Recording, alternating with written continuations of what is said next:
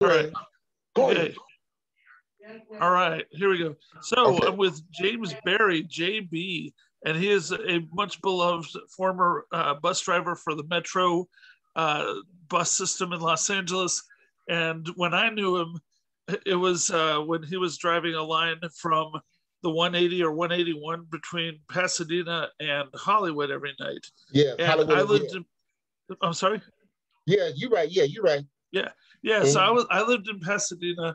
I would go to Hollywood because I was performing stand up a lot, and I would ride the bus back late at night with JB. And the thing was that he had like a party on wheels where he would pull up.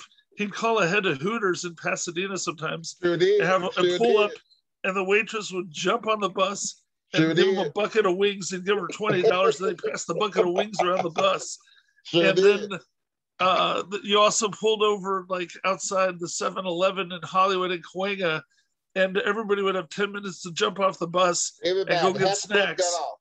We Yeah, had fun. That's all we did. We had fun. We did, we did that every night. That was every night. yeah, and, and it was like also the thing that was cool was that you were very kind. Like most bus drivers, they force you at the end of each end of their line get off the bus and pay to get back Right. on again. Right. And you knew that there were people that were homeless or yeah. just needed somewhere to hang out That's for all. Every all. night.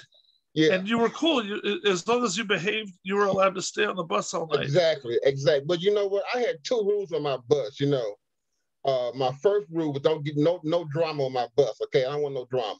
Yeah. Okay, and the second rule that you can't funk up my bus. Okay, you can't do that.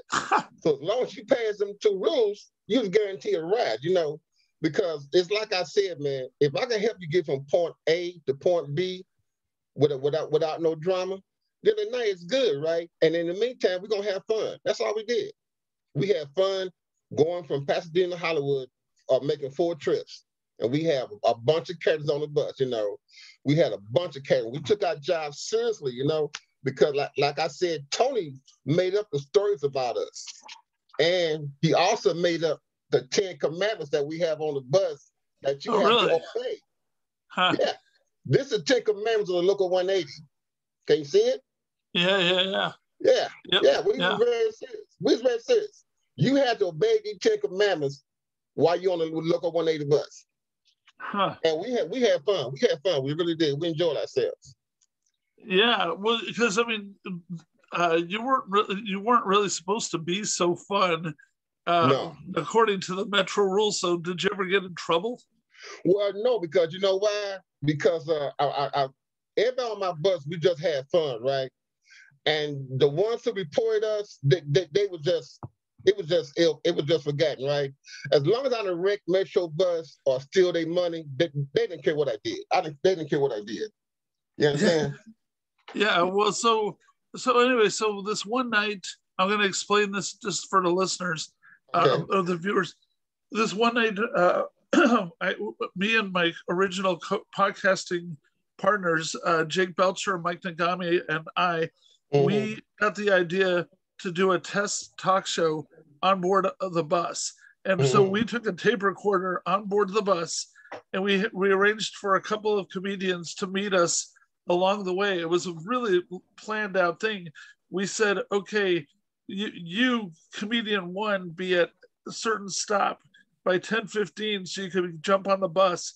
You be at the next one at 10:35 and as they jumped on the bus that would be their introduction and their and their interview segment just like on a talk show and then we had the whole time three or four friends that were on as our audience members and they would Right. uh, you know sit there at the front of the bus with us and applaud or make jokes and you were like our paul shaffer um, on david letterman you know he was the band leader that david would Right. joke with right. and so you were driving, and we kept making uh, jokes with you the whole time.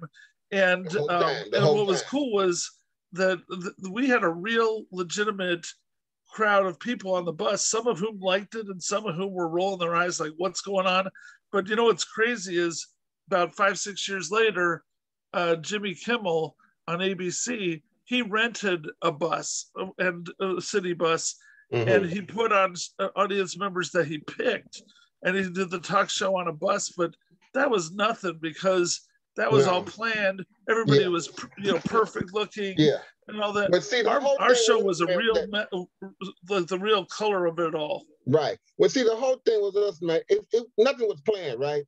Yeah. My people that are the local 180, my people and the, the, regular residents got on the bus every night. Nothing was planned. The only thing that was planned was we're gonna have fun this night, okay? We're gonna talk about everybody, we're gonna joke on everybody, you know, and we're gonna have a good time, okay? And I remember when you first got on the bus, man, you sat behind me and went to sleep and you started snoring. I turned around and said, Who is that? and everybody say, Put him off, JB, put him off the bus.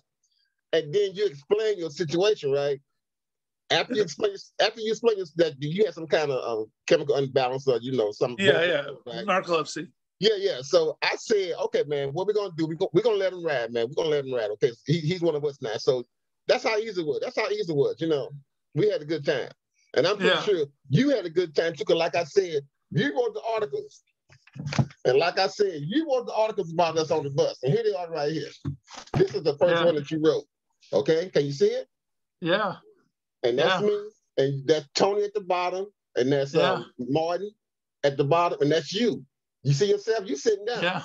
That's you. Yeah. This is the first article you wrote about us on that bus, man. Night moves, and we had a good time. We Yeah. had a good time. We All had a good time every night. yeah. All right. H- hang on a second. Go right here. Um, I'm just paused. Oh wait, one second.